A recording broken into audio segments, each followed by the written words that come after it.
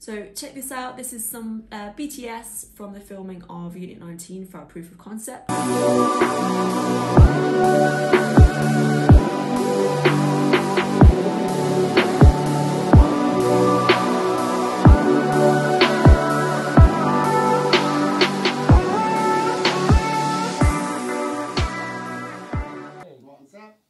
Shot 5A, scene 19, take one. And mean.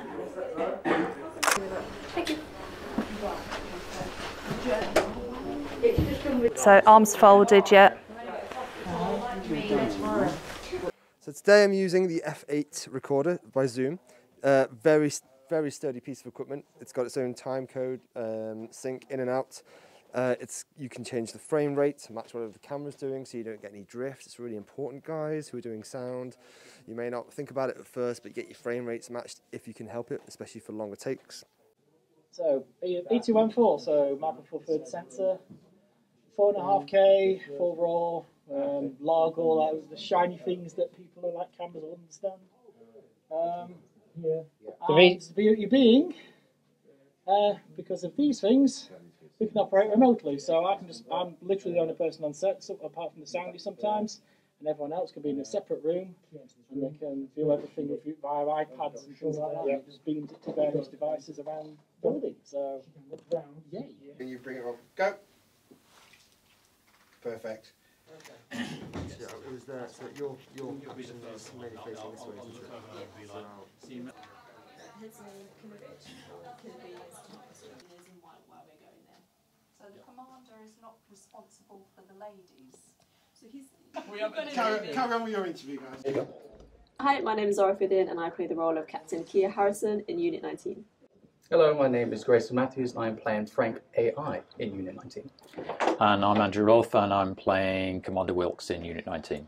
The film is set right here in my modular studio. so um, at the moment we're filming on set, which has uh, been built um, at my academy, and the, the set is basically the station, the ship that's in space right now. So we've built um, like our command room, we have our spaceship corridors, we have some other kind of rooms and things that are on the ship as well. We have our AI room.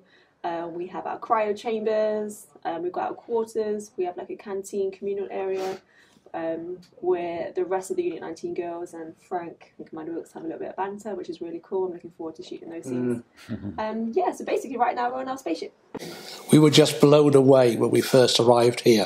The set that had been built and all the props and how it all came alive and the professionalism of the equipment. And the ingenuity, I think, from uh, the way people had taken regular everyday products, especially with things like the props, and transformed them into high tech galactic weapons and other props. Um, so basically, Vic wrote um, Unit 19 uh, along with David. Don't Um, blame me. so they came up with a concept, but I think during COVID, my academy, my business has been closed.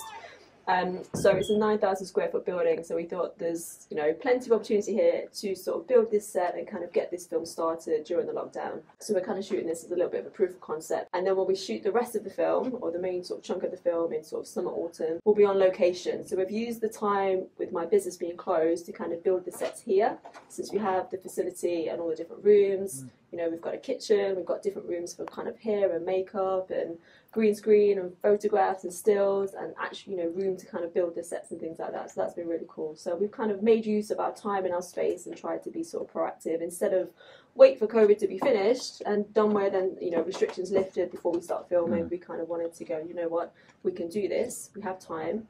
Also, my business reopens on the 12th of April, so we've got to kind of, you know, get it done. Um, which is typical because once we was like, okay, let's do the film, let's do this, then we had the announcement and the roadmap. Yeah. And you're going to open on the 12th. Okay, Yeah. so we've, we've sort of like, okay, let's get this done. It was something we've never been involved with before. Uh, though we take photographs at events on green screen, we've never been involved in films and the, the whole concept of that.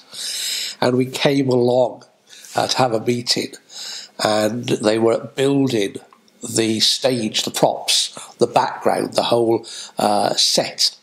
And I was just blown away with the commitment and the, the effort they were being putting into this. So we were on board. So yeah, um, Frank has been. He obviously is a, a robot, and from father has sent down um, programming to be put inside me from Wilkes, and then I my job is basically join the Unit 19 team. So with Kia um, and with the rest of the team.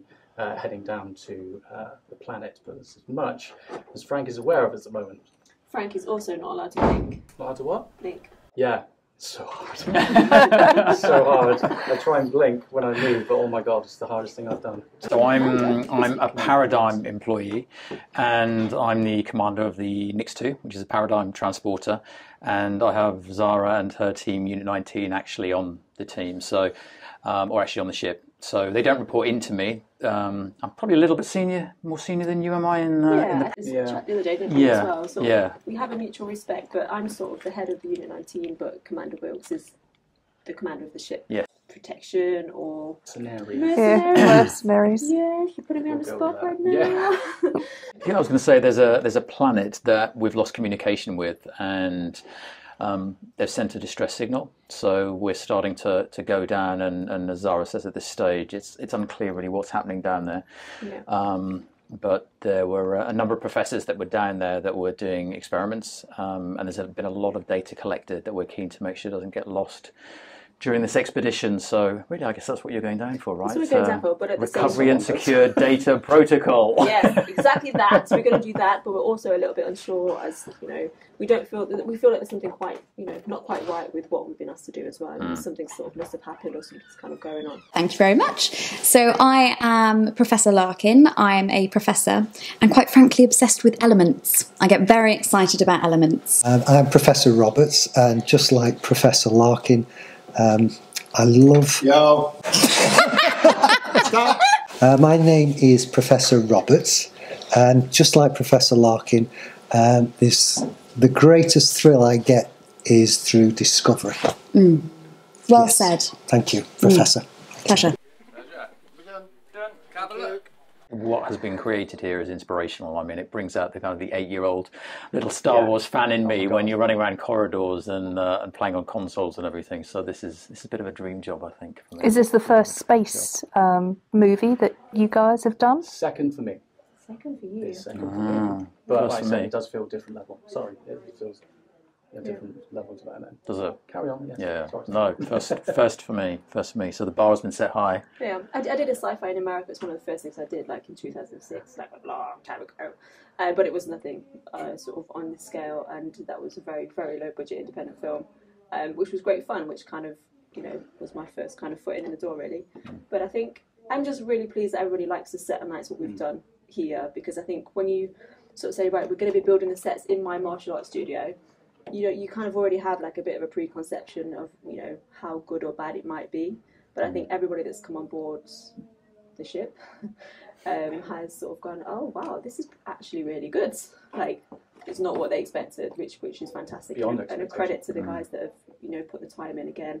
Uh, my dad, Karina, and Mel, um, you know, just just putting this together. And then the awesome camera team have come in and they've done all this practical lighting, and they've kind of now come and brought it to life as well. Um, so that you know, Team Reflector have done a great job, and you know all these kind of things here. It's just yeah, just kind of brought it to life. And now all the actors are here. This is the first day actually when all of the cast are here on the same day. So um, we've got a scene to shoot a bit later with us all in there. So that's going to be lots of fun.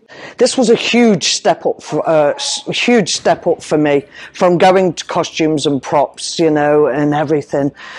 And it was like all of a sudden, I'm going to build a spaceship. I'm going to create corridors, a command room, um, the cockpit, you know, all together. I, I was going to have people like a team underneath me, and I'm like, okay, okay, what do I do? All the self doubt and all the nerves all come in. Can I do this? Can I do this? And I remember doing, uh, creating some of these props in my kitchen over the first couple of weeks, and they were building up, and I was adding lights to them, and I did some designs, and they came back to me and said, "Well, do you know what? We want to base." the idea of the film around your design and I'm like wow you know this is this is huge you know the nerves the excitement you know building up and I made about, I can remember making about 15 props in my kitchen, and I'm thinking, yeah, that's going to be enough. That's going to be enough for, you know, for the film. I think we've created actually now around about 200 props um, altogether, probably even more. Uh, doing all the corridors, putting the lighting in, uh, getting all the rolls, you know, it was just constant painting and everything, and then seeing it slowly building up and coming together, and then seeing it on uh, on photos and everybody's reaction, it was just amazing. Uh, hi, I'm John. I'm the props master on Unit 19. Um, basically, my main role is to uh, I've come up with a design and concept and build all the props um, that are the implements that the actors interact with, um, from weapons uh, to their um, insignias, their dog tags, the logos on the, the, the, the three corporations, um, down to their sidearms, uh, their knives, their helmets. So it's literally try and pull all the information that's inside the producer and the writer's heads into something that's real. Um, and just concepts that way. So yeah, uh, making sure that anything that the, the actress, the actors and actresses all interact with, um, even down to the cups that they're using on set. That you know we've, we've got specific ones. So just making sure what's what's there. So yeah. Where where does Helen need to put her arm? She's going to go right in there. Um, There. Yes. Yeah. That, that apron is very. But we can take that shot from Oh, the other oh, side. can't we? yeah, yeah. Also has a bad habit of smoking cigars and drinking whiskey. Is, is, that, is it finished on whiskey? She's new to it, isn't it? Well, I'm glad I got one of the best in the Always wears his lucky cowboy hat. She also has a bad habit of smoking cigars and drinking too much whiskey. Yes, obviously. Doc, I understand. But the others? I understand newbie well. She's new to your team. As well. Now, No if you sing no, Story, I I auditioned can for show you. Now, if you sing Toy Story, I'll love you forever. Shining, shimmering, splendid. My name is Rachel Warren and I am playing Elaine Rogers, aka Doc. Look at this gun, isn't it complete? Now my world is so sleek. Also, we have a little guest here today. This is called Thea and she is my dog. That's it, set dog vibes today. My character is a medic on the ship, but she's also pretty quirky. Um, she likes to go against the grind. She loves westerns and cowboys, and she kind of thinks she is one. Um, and also, she loves chewing on tobacco and cigars and things like that. Um, and yeah, she's she's really fun to play. Really fun. It's funny as well. It's just put on that I am the medic. Doc is a medic, but she drinks whiskey and smokes cigars. Enough said. I have so many props, it's ridiculous. I have like cigars coming out my mouth, I have two guns, then I have a big gun, then I have a prop spinning gun, hat. You know, it's but to do with that, even like the dog collars here, it has such intricate detail on, and then it has a barcode which we're yet to understand what it is, but apparently it is for something. But also on them we have our character's name as well, and it's things like we have the logo here. Um, everything has been thought of. On our hats we have our names. It's just it's just blown away, and the set as well. The attention to detail on set. Um, I said this before the first time I walked on set. I was actually blown away so much that I actually got a little bit choked up. What about it? We're like, where's Father? Where is it? Where does he talk? I was trying, I'm working so hard, and then they ruined my shot.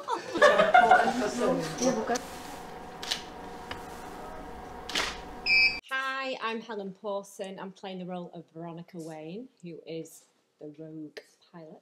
Wow, she's quite a mysterious character, quite a hard one to work out actually. Um, she likes to observe everybody, um, quite quiet. You don't really know what she's going to do next. Um, she, yeah, so she's the pilot, so she has kind of like quite a calm confidence because she's flying the ship.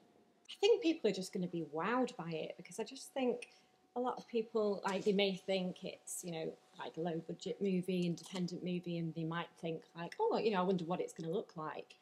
But I've got a lot of confidence in that people are just going to be like, wow. Yeah. Can you pull out a bit? There you go. That's, all right. There you go. Down a bit. Thank you. Thank you. Shot five, scene 12, take one. Here. Take a look. My name is Tori. I'm playing Rebecca Willis, aka Newbie. Um, I've from the start seen the set grow because uh, coming in with prop master because he is um, my father. So coming in with the weekends, um, I'd come in and I would constantly see the set grow and grow and grow. And coming in for the first time to film, I I was blown away of how magnificent it looked, and then coming on filming, seeing it all come together is brilliant. The props, like Rachel said, uh, they're all absolutely phenomenal. All the, the little detail with everything is just it's it's it's amazing. It's it's absolutely fantastic. It really is. He is the king of props. and a privilege to be honest. Um, the hard bit was trying to get the ideas of those concepts out of um, the director and the writer's heads, um, David and Vic, trying to get out of into concept of what could be originality. Um, but yeah, to be approached from them seeing stuff I'd produced already, um, just for a hobby and fun, um, to go, do you know what, where we can see some. Uh, some promise here, and you know, let's uh, let's get the creative juices flowing. Um, and when they started flowing, it was uh, it was hard to stop them, um, and they kept going. They they're uh, bringing it out and and getting the uh, the thumbs up and the yes, that's exactly what I wanted. Um, that's the hardest bit, getting that vision that's in someone else's head to be a physical prop. Sure, it's safe to stay around you crazy ladies for too long. That means Maddie. Yeah. She goes with the body. Yeah. And obviously, the closer you come to here, the more, the more space Yeah, I'm you've got. just, I'm just gonna wing it and do it right every Yeah, time. yeah, yeah. Right every time.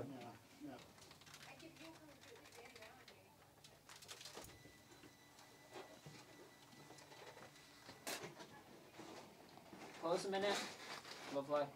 female led, strong characters. Every character is unique in their own way. You can't tell if a character is is uh, good or bad, kind of like real life. Um, and it's a story and a half that will not only have people excited, but it will keep people feeling the characters, having emotion for the characters, loving what the characters do. Some people will hate the characters simply because it's such a well written, well directed, um, well told story. It is particularly unique. Um, I've been a big advocate of female led films for a while. I think with such a strong, diverse, and inclusive cast, it's something that is um, what the industry is crying out for and is what is really what people are looking for.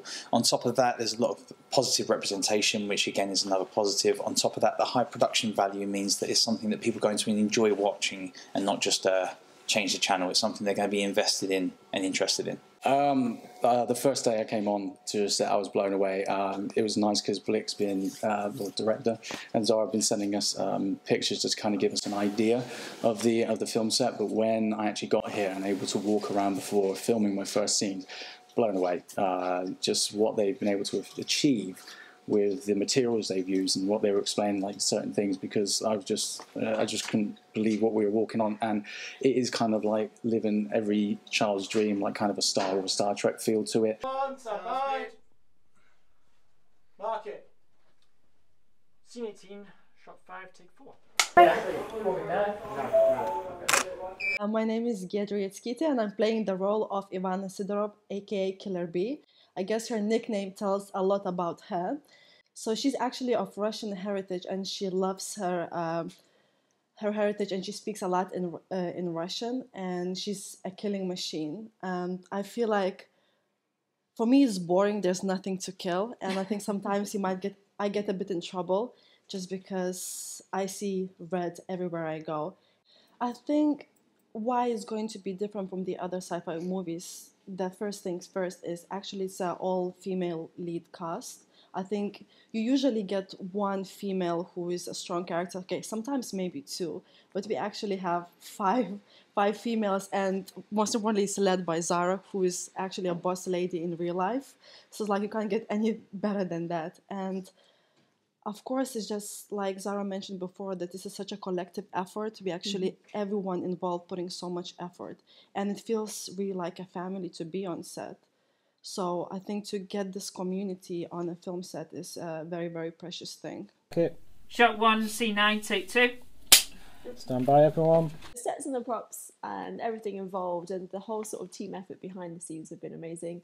Um, so I need to give a shout out to uh, John Nursel, who's the prop master, um, Karina Vischer, who's the set designer, um, Andy Phythian, uh, my father bear, who um, is the sort of joiner and the set builder, and also Melanie Gascoigne, who has been on hand um, day in day out doing the painting and anything else that is required in terms of building the set uh, and making things come together as well. And I think the whole team collectively, as well as Team Reflector, um, you know, Nick Hardy came on board as a DOP and he's put all the lighting in there as well, so it's kind of brought all the sets to life. But um, we've had lots of help from local businesses in terms of um, donations and just helping with little things like wardrobe and boots and props and um, sort of some set dressing things and things like that. So I think it's all come together really nicely. But I'm just really happy that um, the rest of the cast and crew appreciate the set and they, they've all been really impressed with it as well. So I think it's, Yeah. it's come together really well. Oh, that's me out of here for now then. Hopefully see you guys soon. Next stop is Deep Space. Zara out.